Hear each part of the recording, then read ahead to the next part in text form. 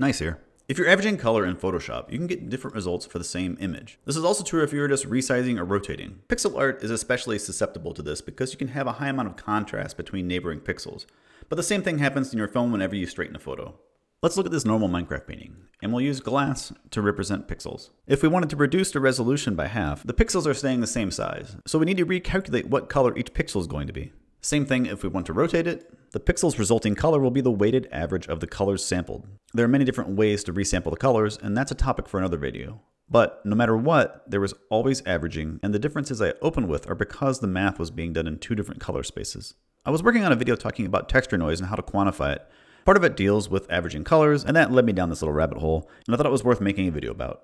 So let's talk about color averaging and why something that seems like it should be incredibly simple is actually complex due to old limitations in our dumb organic bodies. If you're just dealing with the regular numerical average, you add up your numbers, and then you divide that by the total count of numbers. If you're working with colors in sRGB, there are values for red, green, and blue, and you can just average each channel. This is how Photoshop blends colors in sRGB by default, but this average color is actually darker than either of the two starting colors. You can see this in Photoshop when you use a brush with a feathered edge. It blends the background and the brush color along the edges, and you end up with this darker color.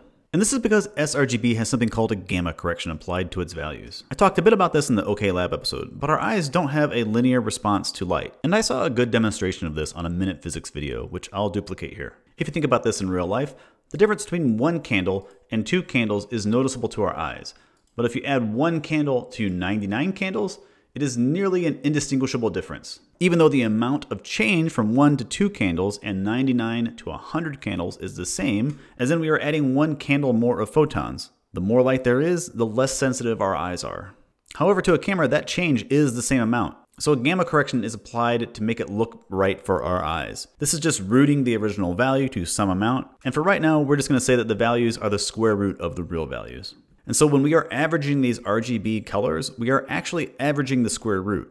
And the problem is that the average of a sum of square roots is not the same as the square root of an average. This makes a lot more sense to me visually, so let's take a look at the colors in sRGB. The original RGB colors are on the ends and the average is in the middle. If we remove the gamma correction, all the colors shift lower in the space, and you can see that the average is no longer directly in the middle. It's no longer the average. The real average would be here, if we reapply the gamma, the better average moves up and is in more of an arc between the two colors. We can look at the actual math for this. Normally when working with color, we work in the range of 0 to 1. So first we divide everything by 255. And then we remove the gamma by square rooting our values. And then we calculate the average for each channel. And then we just reverse all of that. And this produces the color we saw over in the space.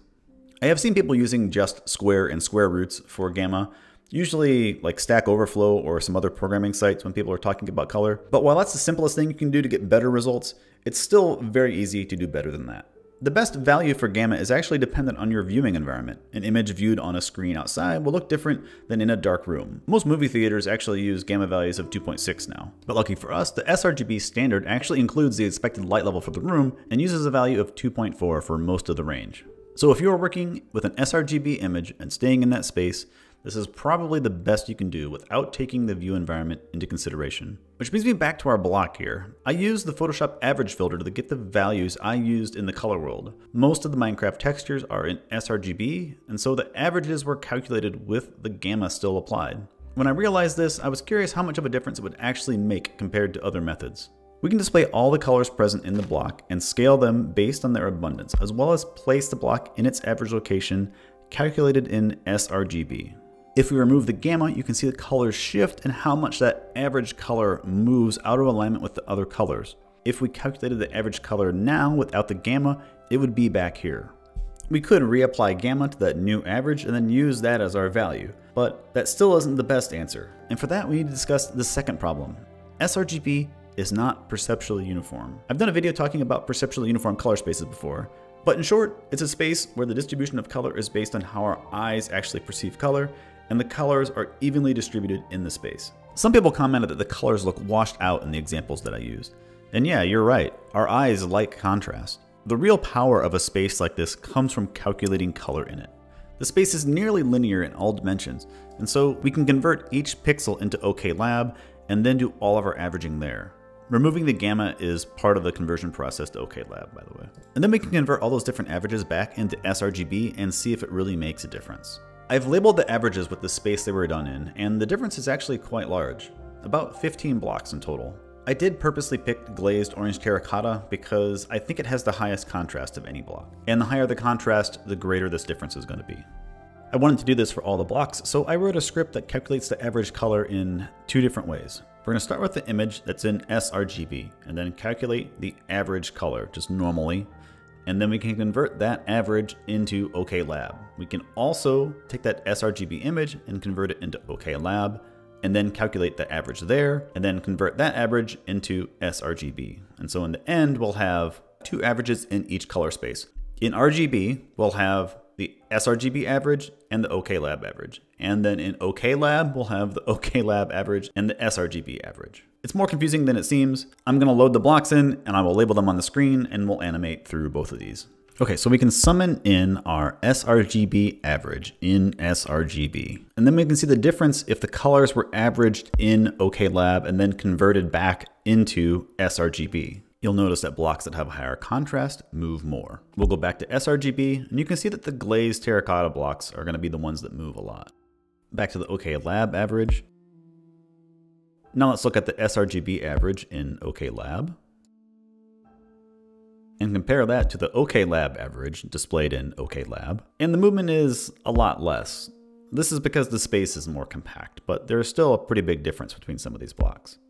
And OK Lab is technically the most correct, the best type of correct.